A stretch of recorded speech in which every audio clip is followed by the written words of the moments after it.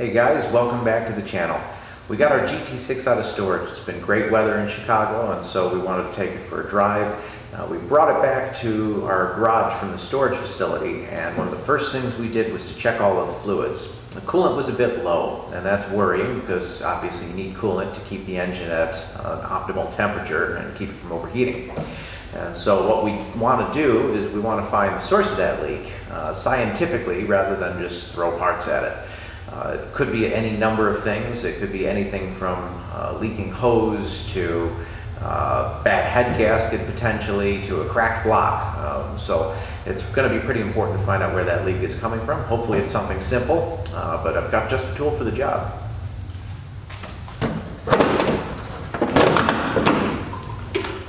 The tool in question that we're going to use is a coolant pressure tester.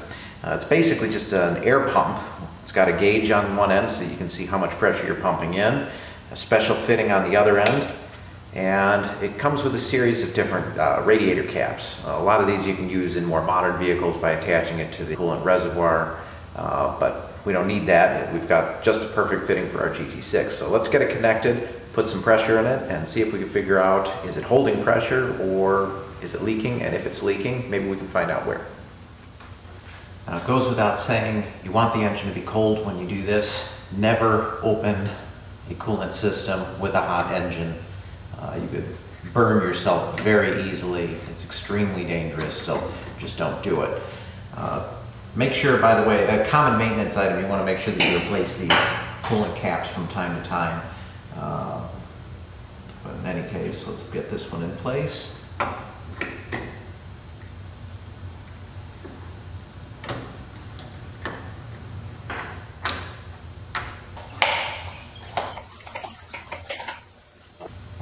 It's leaking, it's coming out pretty quick because what I don't see is pressure building. So at this point, you want to listen. You might be able to hear a hissing, which I do.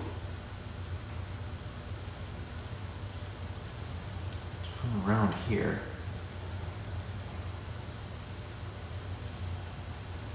All right, here's another trick for you. This is just a bottle of soapy water and you want to spray down any areas that might be suspect.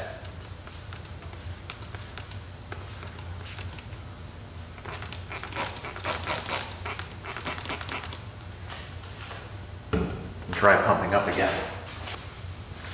Now with the soapy water, hopefully we'll get to see some air bubbles.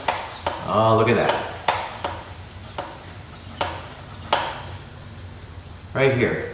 We've got our hoses not connecting very well at all. It's probably about time to change these out anyway. Uh, I will have to order some hoses because the last spare set that I have are on a car that is now in Colorado. Mike, you're welcome. Uh, so anyway, let's get some hoses. We need to replace these anyway. They're getting a bit long in the tooth. And that should take care of our leak so we can keep the coolant inside the engine.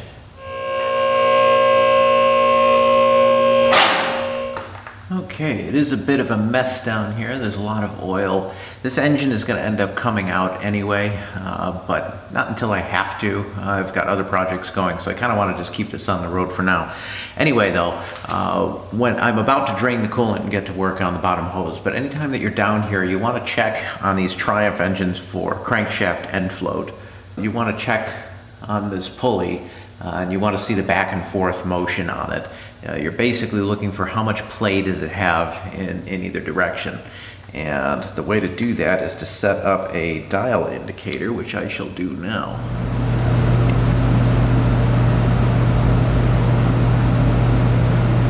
And I'm seeing about six thousandths of movement here.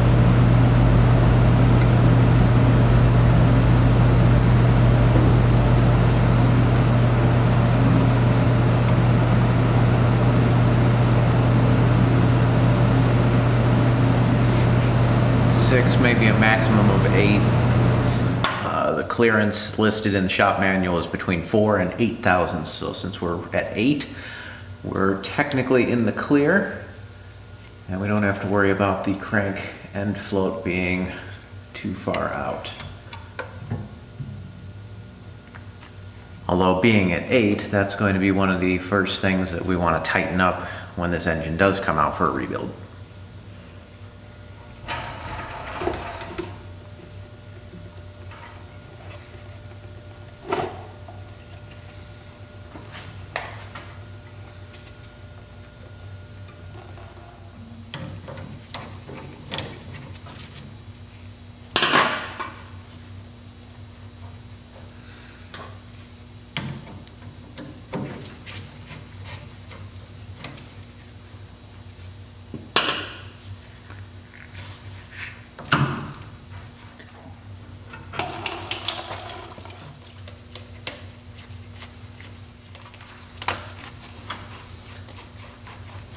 These are actually twisting off fairly easily, but if you need to, you uh, just a set of channel locks on the, on the hose and twist it at first with a set of pliers.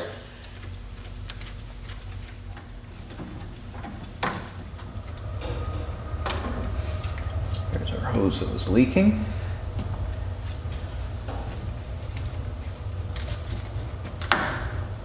These must be kind of recent because they're all coming off very easily.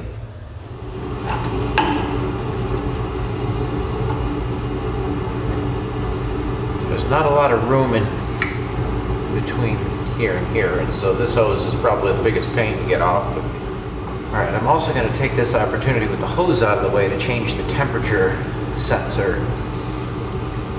because it was reading a little bit high even though measured with a thermometer on the engine it wasn't that hot.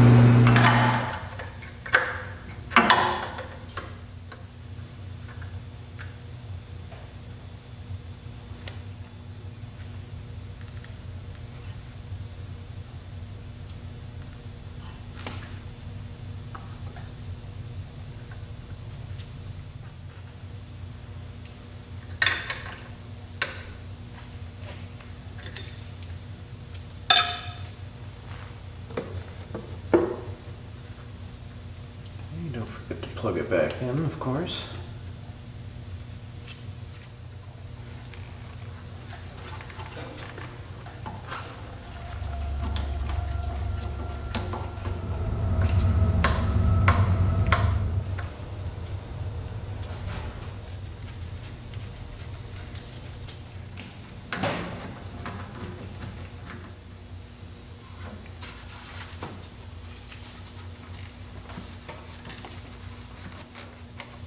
This clamp, get it where it's just snug enough where it's not going to slide down. But don't tighten it until you get the bottom one in place, otherwise you could be twisting the hose.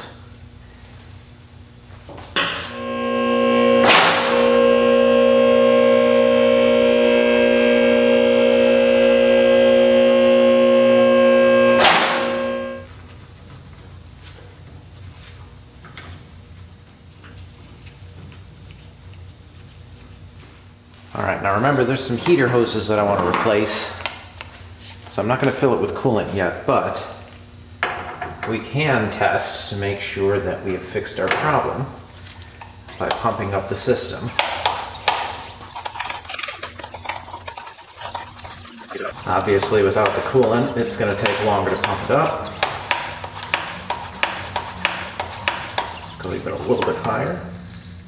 Now in theory, uh, what you would want to do, and this is what we're going to do now, it's at 7 psi. I'm going to leave it there so I can come back in a few minutes, make sure that it hasn't lost any pressure.